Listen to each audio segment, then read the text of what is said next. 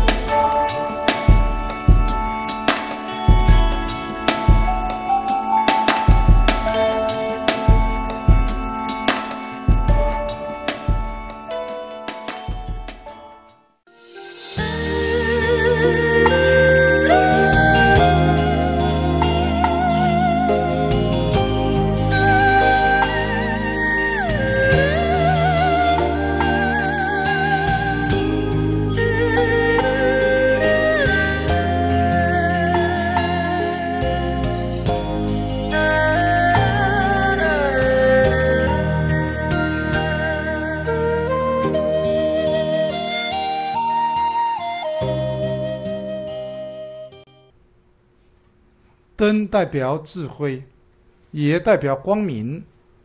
灯不但照耀的我们自己，啊，可以断除身口意所造的恶业，也可以照着众生，带着众生离苦得乐。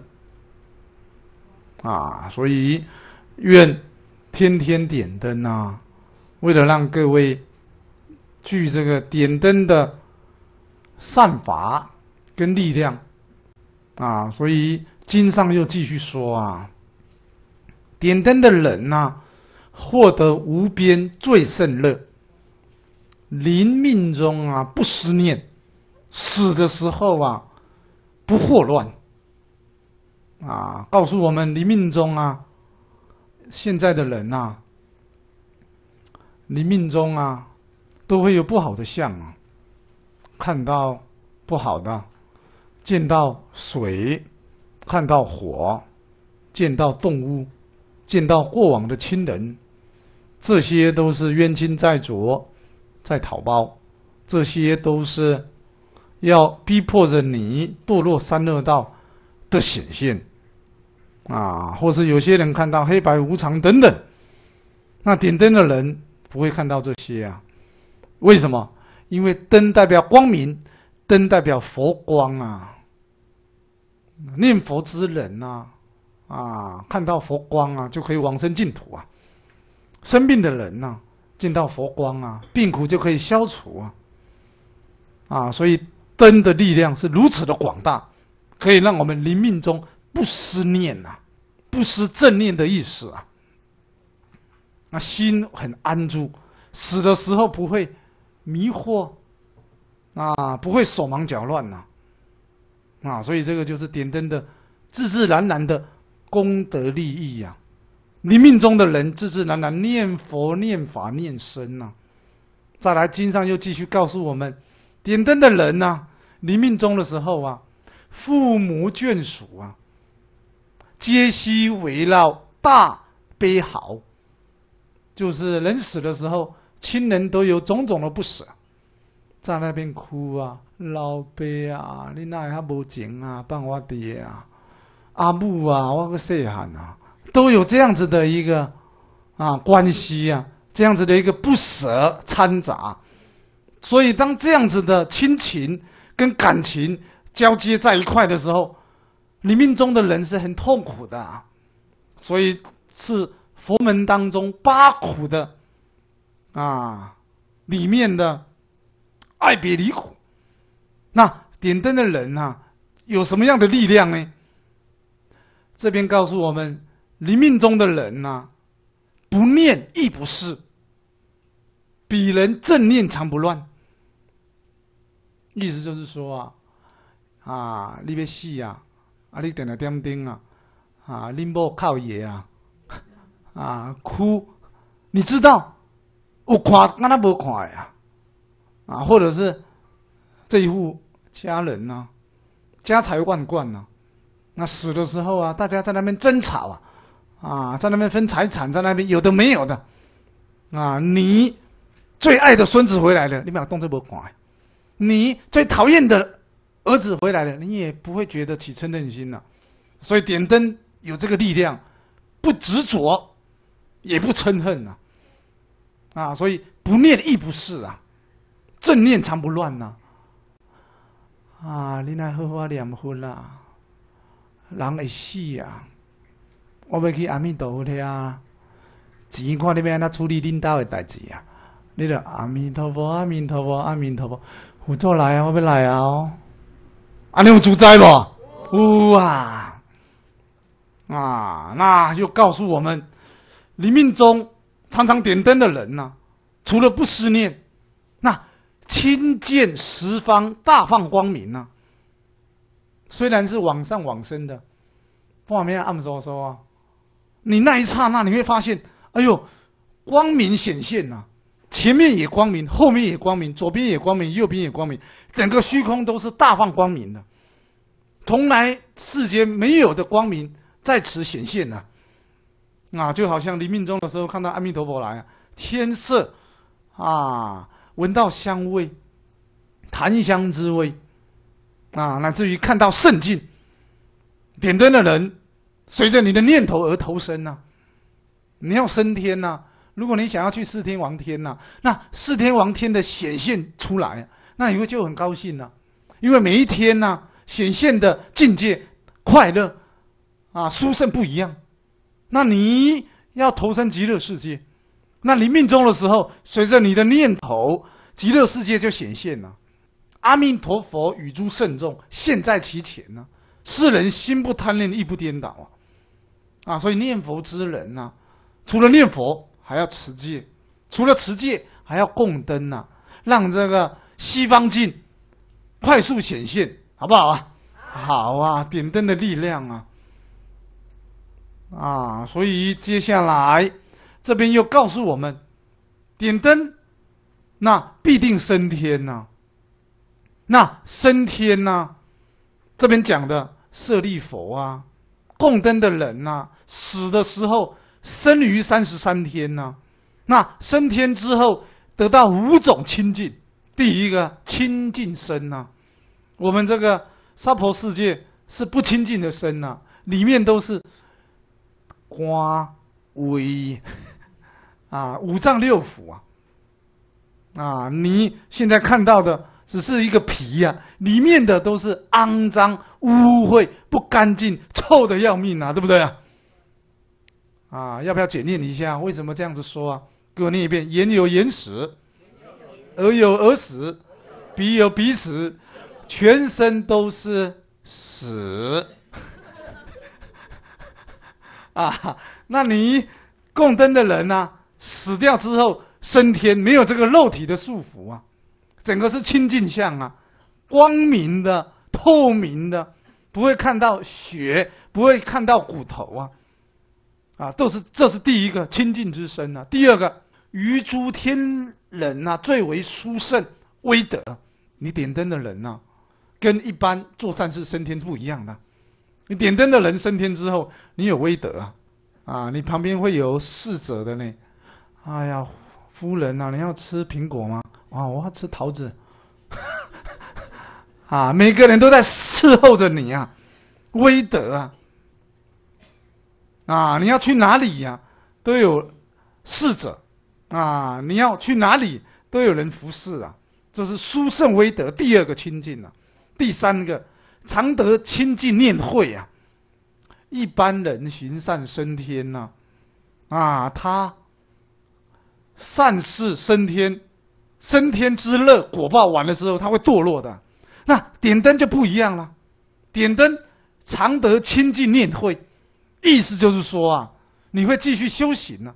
升天只是个享受快乐的一个踏板啊，那你升天你还会念慧。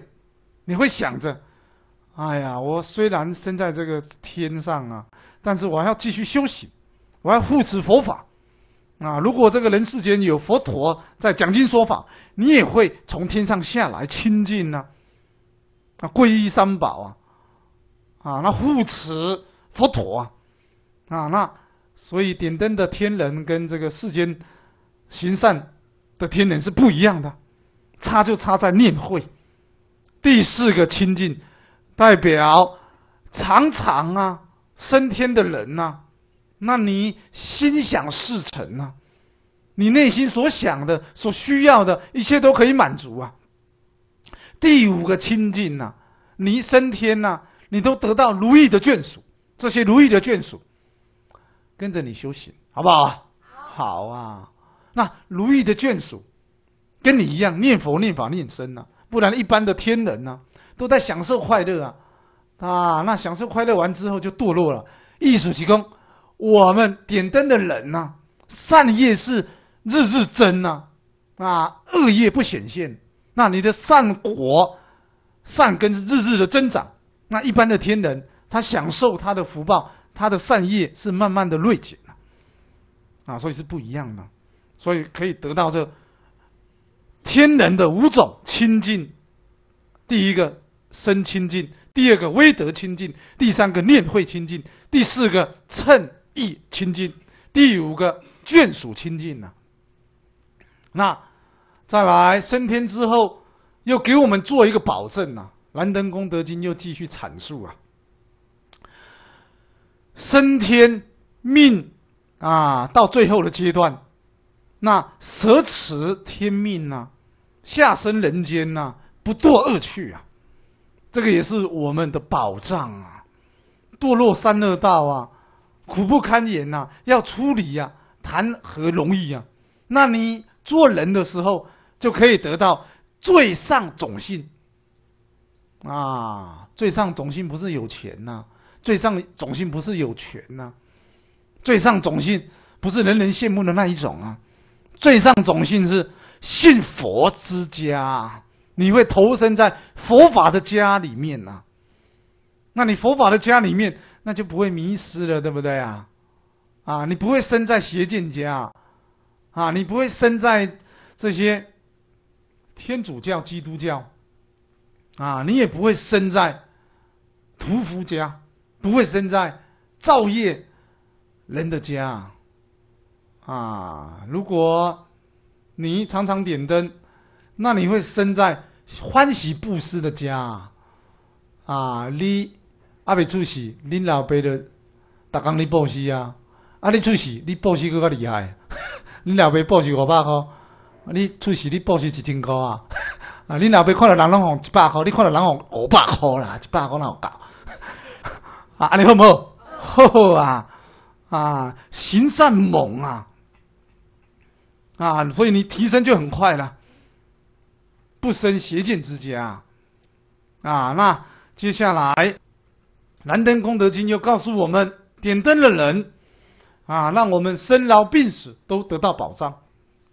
刚才讲了，死的时候不迷失啊，死的时候不恐怖啊，啊，那点灯的人死的时候没有四大分解的痛苦，四大分解的痛苦是每个人都碰得到的、佛陀告诉我们，现在在这个娑婆世界生病的人呐、或者是住院开刀的人呐、很痛苦，但是这个痛苦啊，不如你临命中的百千万亿倍呀、所以由此可知啊，临命中的痛苦是每一个人都受不了的。临命中的痛苦，佛陀形容啊，叫做乌龟拔壳啊，牛被扒皮呀、你看乌龟拔壳，活生生的把这个乌龟的壳拔起来，你看痛不痛啊？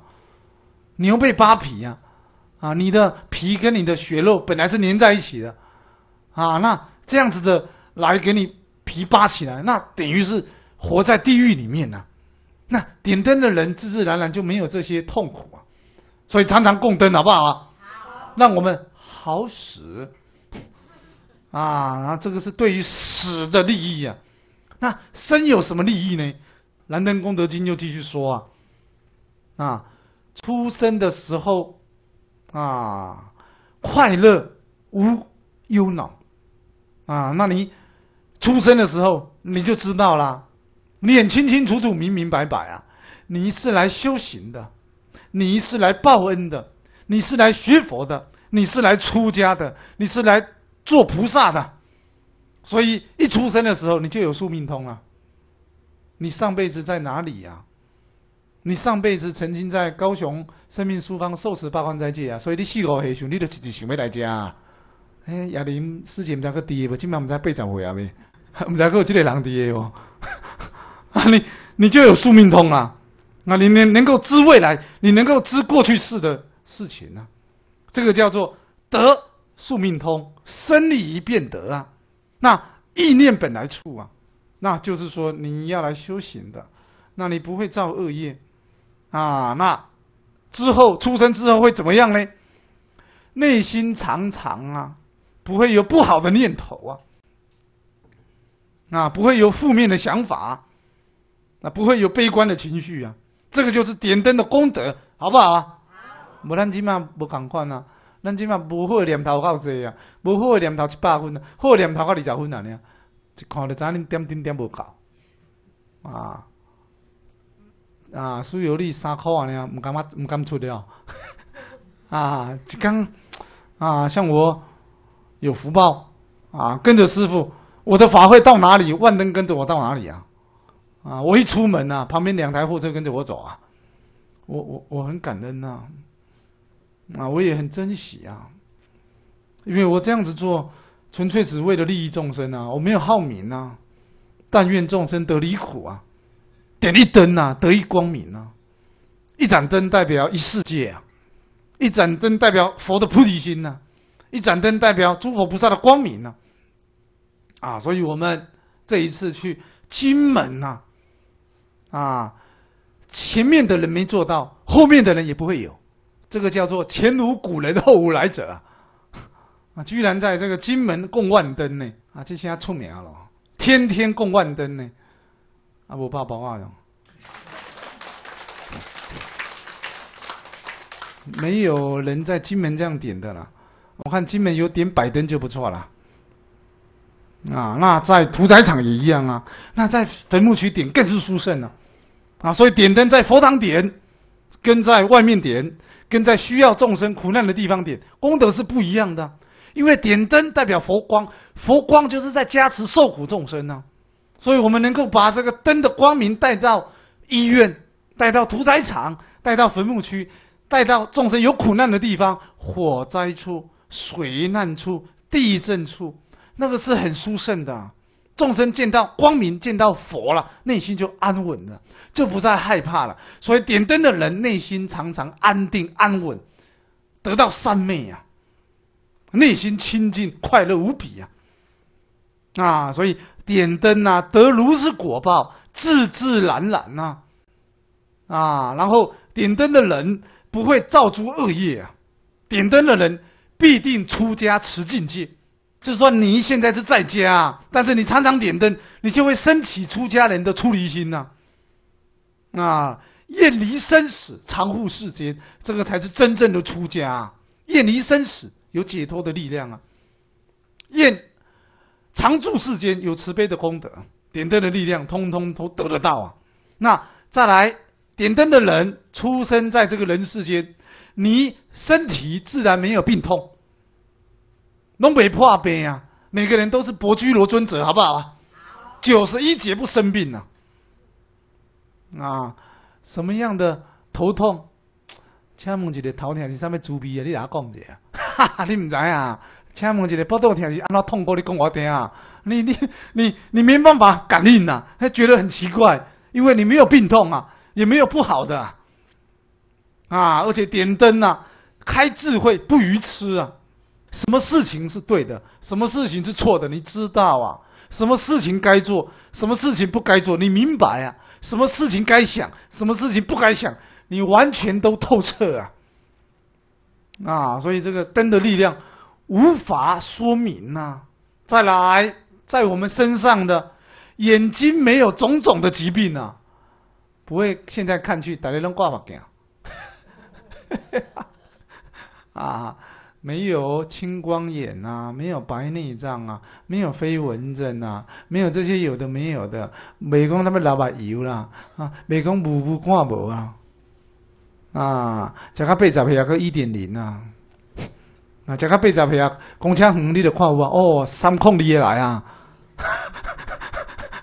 啊，不是三控你来，不是你要坐啊，你要坐啊二零三呐，啊，所以你看点灯是这么的殊胜呐，啊，然后于佛法当中啊普照一切啊，对这个佛法的经典一目了然呐，看容易吸收啊，啊，每一尊佛他的本愿啊，他利益众生的事迹，他的本怀你都可以吸收，都可以了解。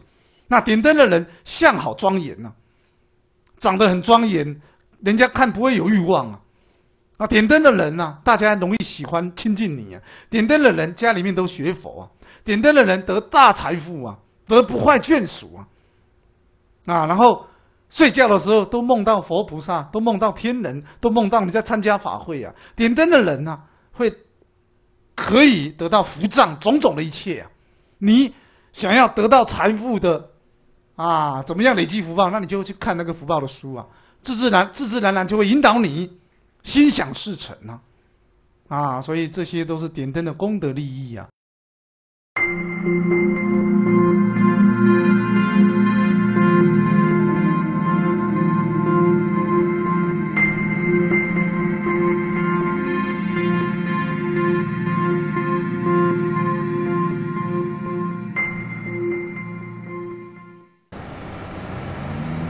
这货车上就只有我，在颠簸的路上行驶着。下车时才发现，这里的房子宽大干净，比起之前的破烂房子舒适多了。这里的食物营养好吃，比起之前的穷酸厨余好吃多了。这里的同伴活泼可爱，比起之前的孤独一人有趣多了。这里大师傅笑脸迎人，比起那离别时的泪水，更让人难忘。庆幸的是，我逃离了被宰杀的命运。要不是我食量大，您或许会比较温饱。在这里，我也度过了安逸的十个年头。您还时不时长途跋涉，带着年迈的我一起散步聊天。谢谢您让我度过这幸福的童年，也希望您能幸福安康。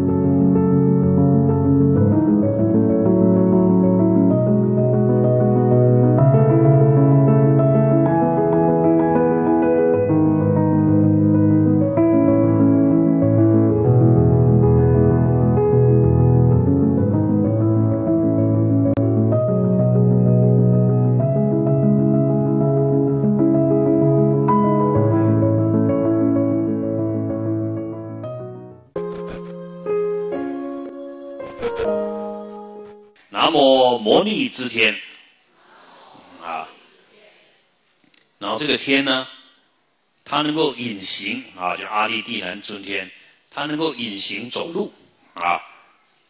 如果各位要学隐形术啊，它呢这个魔力之天，各位看不见的，因为它随时隐形在帮助世间的修行者消除种种的障碍困难，不施利益，而且视线的女神，她都走在哪里？她都走在太阳的之前，叫日天前面。但是呢，太阳也看不到他。那如果各位经常供养这一位阿利地南天、魔力之天呢，那么将来也可以修到隐形身。这个隐形目的要干嘛？就是你的冤亲债主、鬼魔找不到你啊。他也是三个脸、三个眼睛、八倍，然后但是他身上的光明超过十二个太阳这么大啊。所以再来念一下。南无日公尊天，南无月公尊天，然后呢，这个日天也叫宝日天子，那事实上日天是观音菩萨的视线，啊，观音菩萨的视线。然后很多人说，那日天的太太是不是月天呢？不是的，在经典说，呃，日天的太太，她叫红霞。各位有没有看过红霞？就是晚上那个傍晚那个红霞，那就是他老婆，啊，所以他的名字叫红霞，永远年轻啊，漂亮，而且很有善心，要布施给别人，啊，而且呢，这个红霞的发愿，只要看到我的就不容易生气，所以晚上看到红霞内心好不好啊？啊，就是他的老婆的意思。然后呢，日天跟月天，他们过去世。都以善心供养出家人、婆罗门，帮济贫穷，而且随众生愿，不逆人意，尽量帮助别人，守五戒、十善，经常点灯，所以感得日天的果报啊！所以各位很重要啊，持戒、五戒、布施啊，点灯，那身体光亮。然后在密教里面，把日天太阳宫当作是大日如来的视线，为了利益众生，永远安住在叫。念一下佛日三昧，啊，就是佛的光三昧，然后让所有的众生发菩提心。然后我们现在把日天做成中年皇帝的形象，脸红红的，手上拿一只红莲花，他的头上有一个太阳，那里面有一只兔子，啊，可以看得出来。然后再来月天，月天叫什么？来念一下：南无宝吉祥天子。